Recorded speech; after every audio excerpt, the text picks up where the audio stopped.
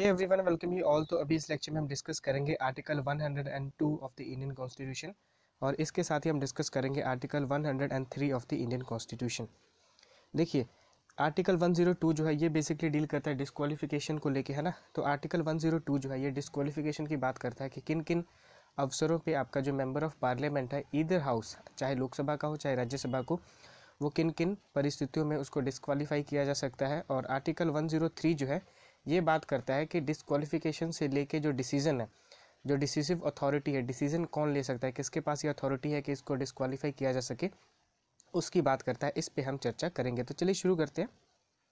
देखिए, सबसे पहले तो आर्टिकल 102 की बात करते हैं। तो इसमें ये बात किया गया है। अब देखिए, यहाँ पे एक और बात जो कि बहुत इंपॉर्टेंट आपको बताना चाहूँगा कि ये जो आर्टिकल 102 जो है, ये part five of the Indian constitution में आता है। दैट मीन्स कि यहाँ पे जो हम बात कर रहे हैं, वो बात कर रहे हैं एमपी की, है ना?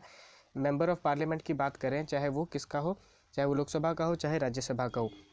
ये जितने भी प्रोविज़न लिखे हैं कि किस किस क्राइटेरिया के आधार पे एक मेंबर ऑफ़ पार्लियामेंट को डिस्क्वालीफाई किया जा सकता है, ये same criteria as it is आपको मिलेंगे। 191 जो आर्टिकल है, आपका जो स्टेट वाला मैटर है ना? तो वहाँ पे ये सेम क्राइटेरिया आपको देखने को मिलेगा और उस केस में किसको डिस्क्वालीफाई किया जाता है, एक एमएलए को किया जाता है। तो ये आपने याद रखना है, ये सेम प्रोविज़न अगर एमएलए की बात है तो उसके लिए आर्टिकल 191 है। लेकिन जब आप एमपी की बात करते हो तो वहाँ पे हम बात करते हैं आर्टिकल 102 की।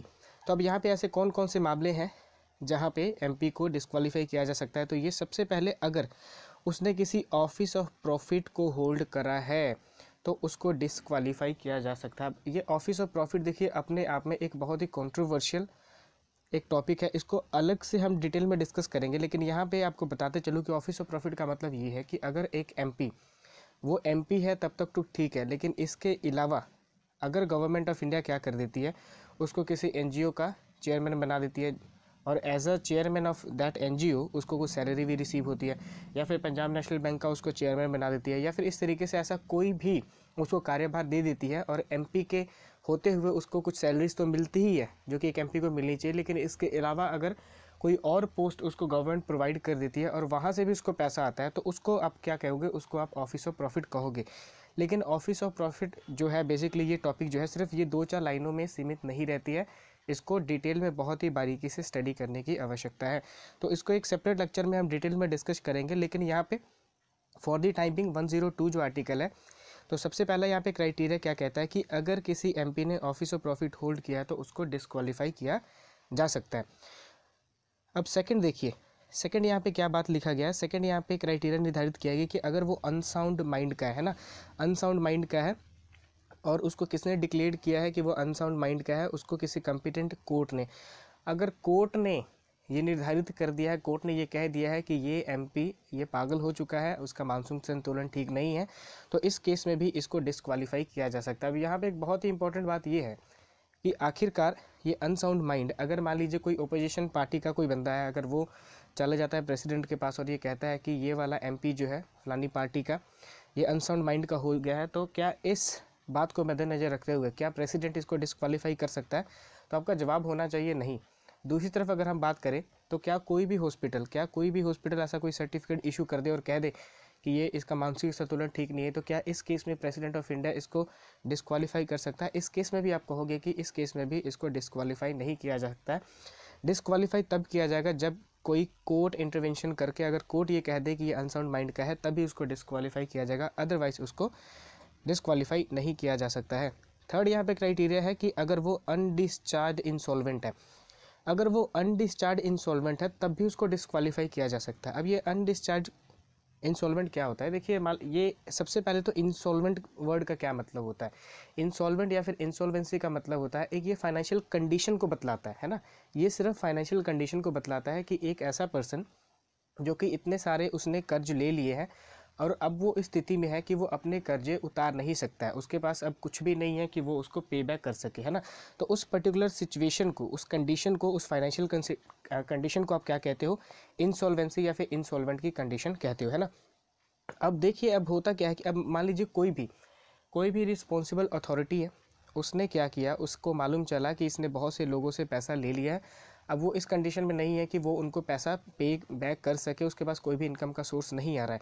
तो इस पर्टिकुलर केस में बेसिकली होगा क्या कि जो भी यहाँ पे रिस्पॉन्सिबल अथॉरिटी है, वो क्या करेगी?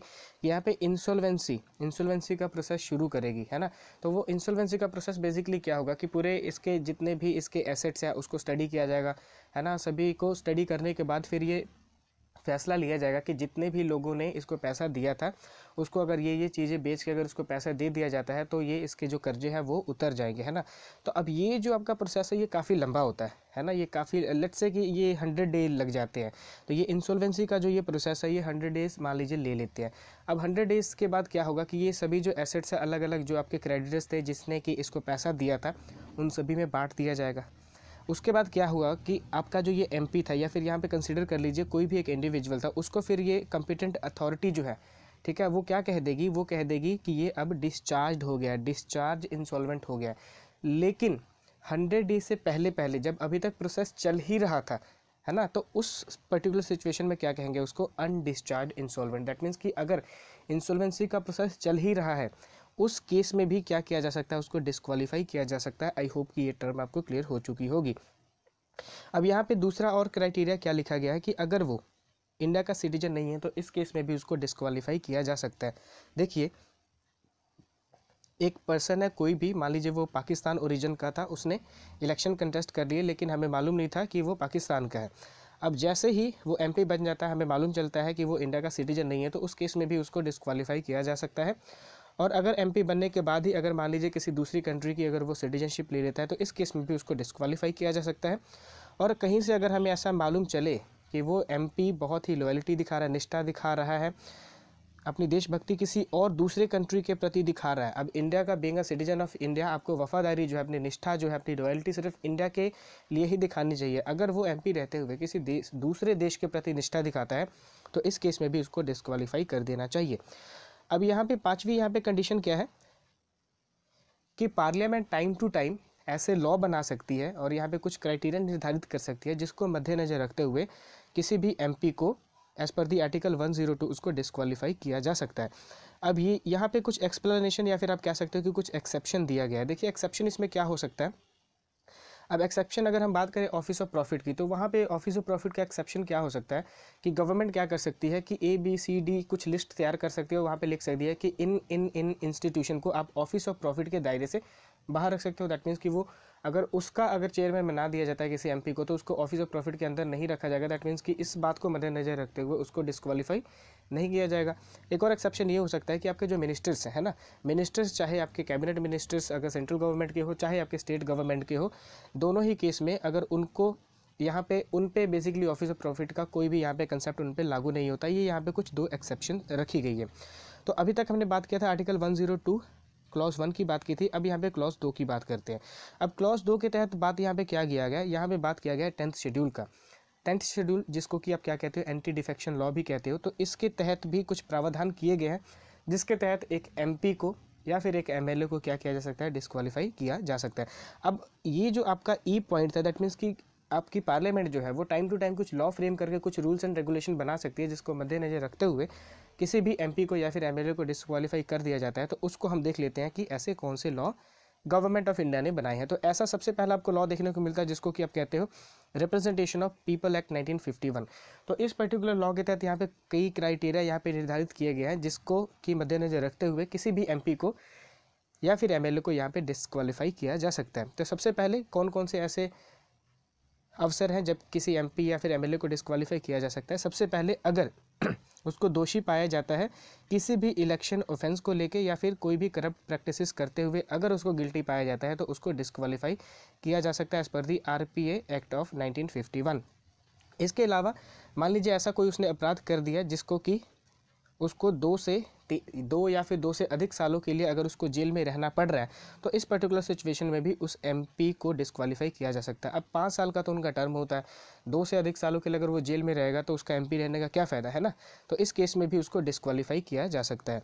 अब यहाँ पर एक एक्सेप्शन भी है कि अगर किसी एमपी को अंडर प्रिवेंटिव डिटेंशन लॉ के तहत अगर उसको जेल में डाला जाता है तो उस केस में यहाँ पे उसको डिस्कवालीफाई नहीं किया जाएगा। देखिए, इसका क्या मतलब होता है?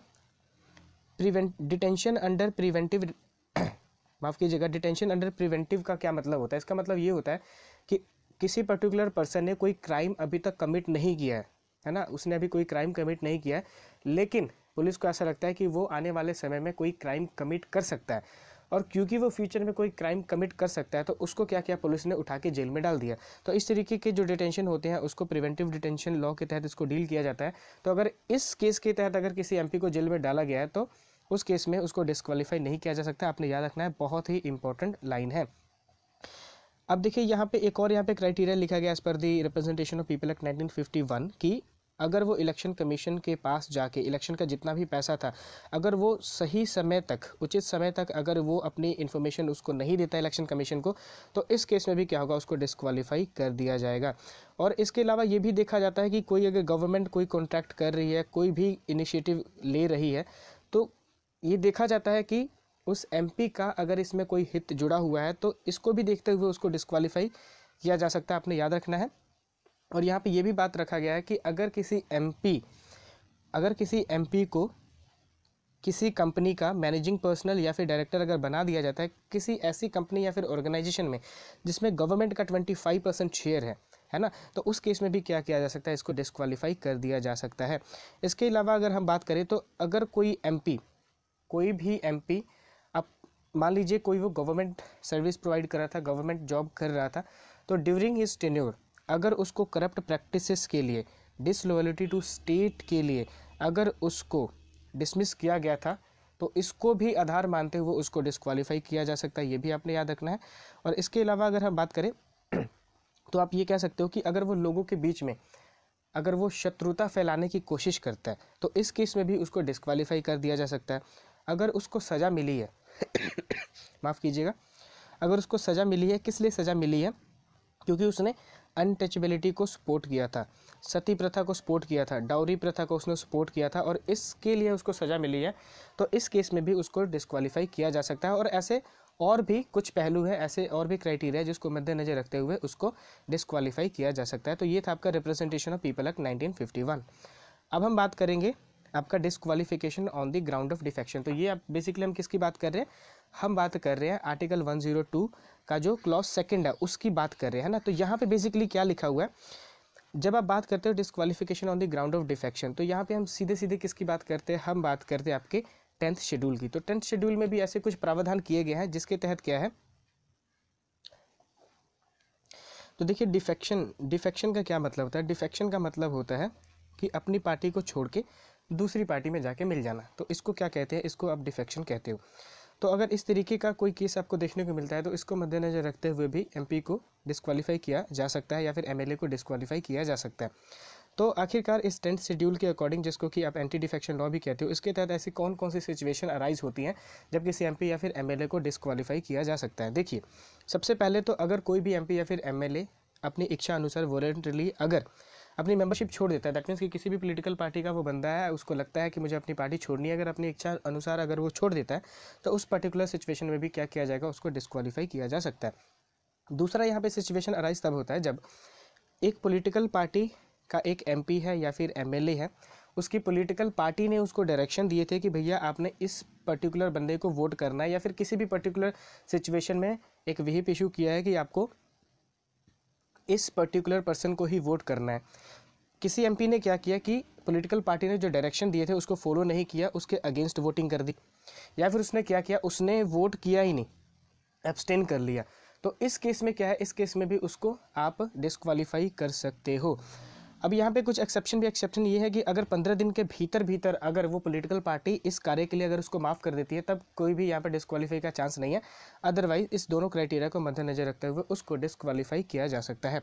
अब यहाँ पे दो और बातें उभर के आती हैं जब आप एंटी डिफेक्शन लॉ की बात करते हो। जैसे कि किसी इंडिपेंडेंट कैंडिडेट की अगर हम बात करें इलेक्शन उसने लड़ा था एक इंडी एक इंडिपेंडेंट कैंडिडेट के रूप में वो उसने इलेक्शन कंटेस्ट किया था। जैसे ही इलेक्शन वो जीतता है, बाद में वो किसी पॉलिटिकल पार्टी को ज्वाइन कर लेता है जाके। तो इस केस में क्या होता है? इस केस में भी उसको डिस्कवालीफाई किया जा सकता है। एक नॉमिनेटेड अगर मेंबर की बात करें तो इसके लिए क्या है कि जैसे ही उसको नॉमिनेट किया गया तो अगर नॉमिनेट करने के बाद अगर वो छः महीने के भीतर भीतर अगर किसी पॉलिटिकल पार्टी को ज्वाइन कर लेता है, फिर तो कोई बात नहीं है, उसको डिस्कवालीफाई नहीं किया जाएगा। लेकिन अगर छः महीने के बाद किसी पॉलिटिकल पार्टी को अगर वो ज्वाइन किया, करता है तो इस केस में उसको क्या किया जाएगा? उसको डिस्कवालीफाई किया जा सकता है। तो ये भी आपने याद रखना है। देखिए एंटी डिफेक्शन लॉ भी एक, देखिए, एक ऐसा टॉपिक है जिस पर कि डिटेल में डिस्कस करने की आवश्यकता है।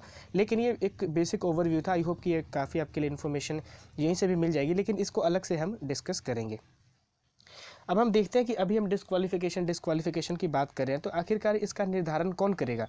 इसका निर्धारण कौन करेगा कि किसी एमपी को एमएलए को यहाँ पे डिस्क्वालीफाई करना है? देखिए, आपका आर्टिकल 103 जो है, ये बेसिकली बात करता है कि डिसीज़न कौन लेगा।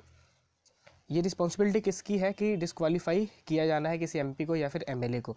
तो आपका आर्टिकल 103 जो है, ये बेसिकली पावर किसको प्रोवाइड करता है? ये पावर प्रोवाइड करता है आपके प्रेसिडेंट को। कि आर्टिकल 102 का क्लॉज वन जो है, इसके तहत जितने भी यहाँ पे प्रोविज़न आते हैं तो उससे रिलेटेड अगर किसी एमपी को डिसक्वालीफाई करना हो तो ये पावर किसके पास है?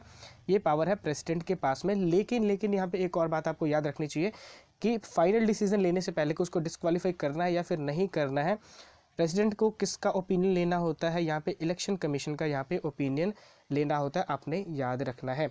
अब देखिए, यहाँ पे एक और बहुत ही इंपॉर्टेंट बात है जो कि आपको बताना बहुत आवश्यक है, वो ये है कि जो आपका आर्टिकल 102 सब क्लोज दो जो है, वहाँ पे क्या लिखा है? वहाँ पे एंटी डिफेक्शन की बात की है। तो एंटी डिफेक्शन लॉ के तहत अगर डिस्कालिफिकेशन की बात आती है तो वो फैसला कौन लेगा?